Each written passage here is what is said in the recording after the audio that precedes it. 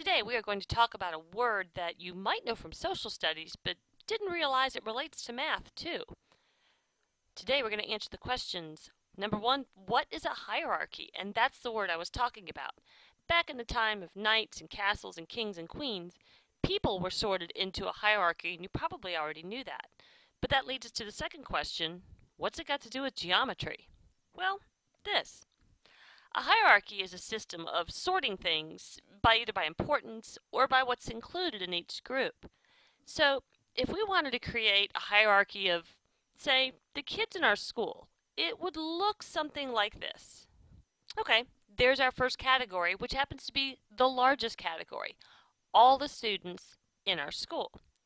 Well, we might want to create two subcategories because we wouldn't want to just take 750 kids and say, here you go, here's kids in our school we would want to identify them a little more carefully. So, in our building, the way our kids are generally separated is this. We've got one group of kids that are primary kids and another group of kids that have to sit those state tests at the end of the year. Alright, so that divides our kids into two groups. But we could find some more subcategories, smaller groups, in which we could sort them. In our building, it looks kind of like this divided by grades.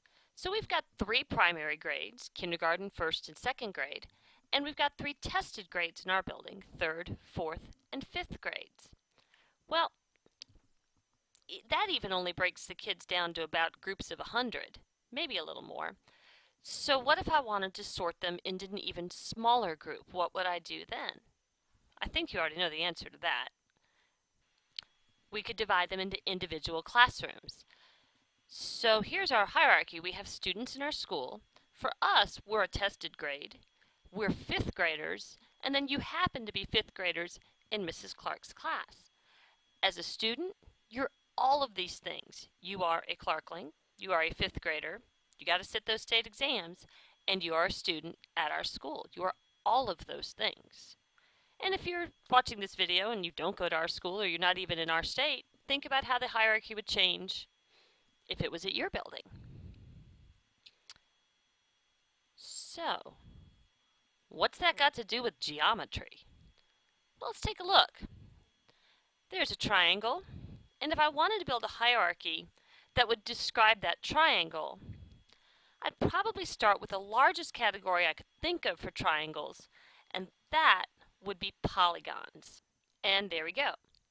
Well, there are all sorts of polygons. I put three up there. They're triangles, quadrilaterals, and pentagons. And I'm not going to worry about the quadrilaterals and pentagons today. I'm going to deal with a triangle. So, yep, that's a triangle, but there are also all sorts of triangles. And just to call that a triangle, okay, that works for a little kid, but we're older, we know more about triangles, and you would look at that and go, okay, so what kind of triangle? Well, you know that triangles can be classified by their angles, and those would be acute triangles, right triangles, and obtuse triangles. Well, looking at this, I see three acute angles, so obviously this is an acute triangle. So this triangle is acute, and it's a triangle, which happens to be a polygon. It's all of those things. But wait, there's more.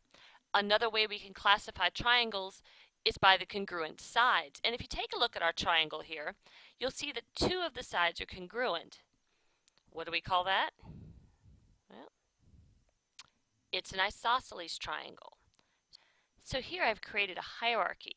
I've gone from the largest category, polygons, down to the next smallest category, triangles, to the next smallest category, acute, to the next smallest category, isosceles. So this triangle is an isosceles acute triangle that happens to be a polygon. Quite a lot. Could I have switched doing the sides and then doing the angles? I could have, and it wouldn't have made a difference in this case. So, that's what it's got to do with geometry. We sort shapes from the largest categories down to the smallest based on their attributes. So today we have answered the question, what is a hierarchy? It is a system for take, sorting anything, but in this case, shapes, from the largest category down to the smallest, most specific subcategory. What's it got to do with geometry? I can do that with shapes. that does it. You guys have an awesome afternoon.